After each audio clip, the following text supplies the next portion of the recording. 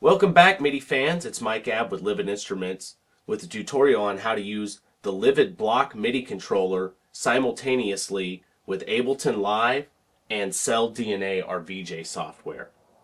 We're going to show you how you can have your VJ clips and your DJ clips mapped to the exact same buttons and knobs at the same time. So when you go to trigger one of your audio clips, a video clip will simultaneously trigger. And the same with effects in Ableton and the effects in Cell DNA.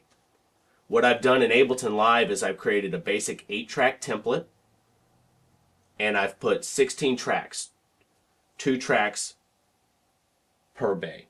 In Cell DNA, I've created 16 video clips to correspond with the 16 audio clips, and I've put in a eight additional clips in cell DNA just for this demonstration mapped to the eight monitor mutes at the bottom of my uh, block controller and in Ableton Live. The block controller is uses LEDs to visually represent what clips you have triggered.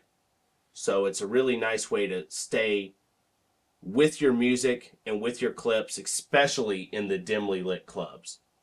Because this is an ideal scenario for those traveling musicians or weekly guys who just want to travel with minimal gear but get a lot out of it.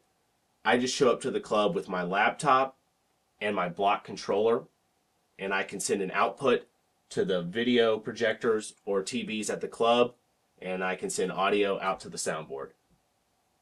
And so when I go to the club, I can have a, a real multimedia performance demonstrating my video and the audio that I hand selected. So on the block controller, I've set up these two buttons on the side to be my playhead triggers in Ableton.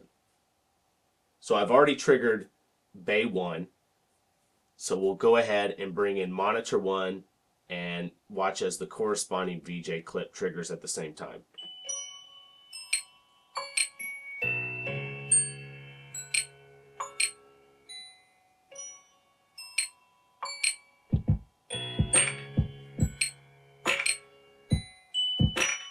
Now I have this fader also assigned to the crossfader in Livid Cell, so I can fade in between the last clip I selected and my current clip.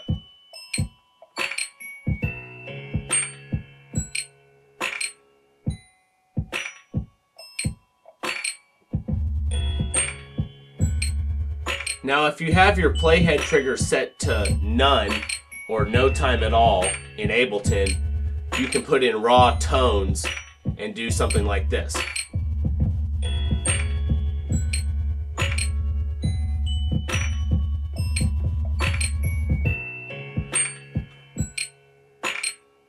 I also have effects set up in Ableton to correspond with these eight rotary knobs at the top of the block controller.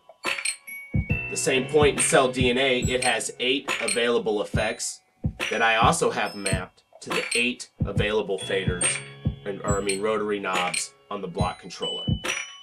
So at any point in time, I can affect the video and the audio at the same time, depending what effects I have up and going. And mind you, Cell DNA has a number of effect banks, so you can constantly change your effect banks to reset a whole new set of effects for your rotary knobs. Bad man, bad.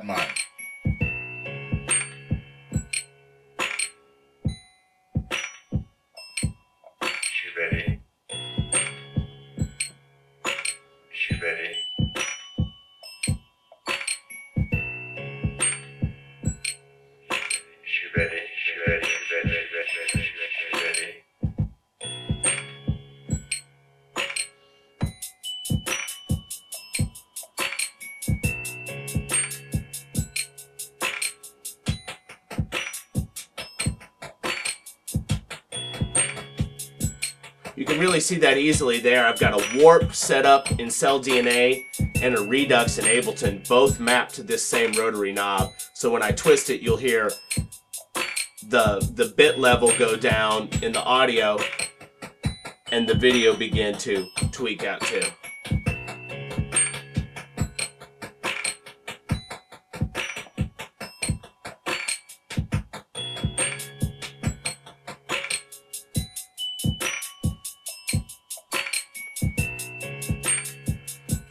See, but also you can have a longer clip in here and just focus on playing some VJ clips. So if I was to trigger an MP3 that I had that was longer,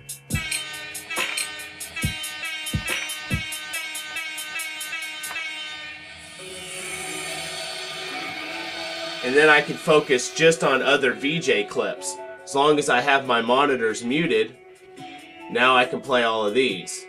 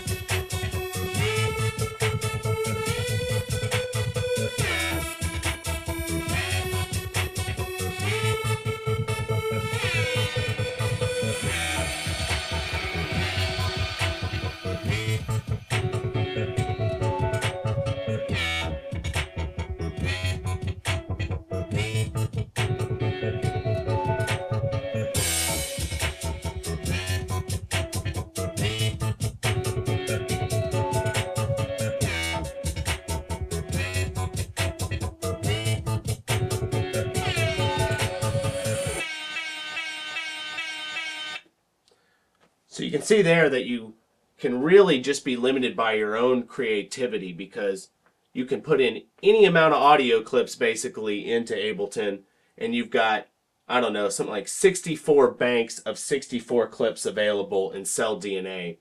So depending on your hard drive space and the amount of program you want to do in, in the front end, you really, really have a great tool and the controller to be able to be multi-mapped like that is just awesome. So anybody out there that's also using their ohm or their block controller for different styles, we'd really like to see them. So as you can see there, that's a way to use the Livid block controller. And this also works with the ohm controller just the same way to have multiple programs simultaneously mapped to the same controller, allowing you to have basically unparalleled control over your media. Thanks guys for watching. Appreciate you.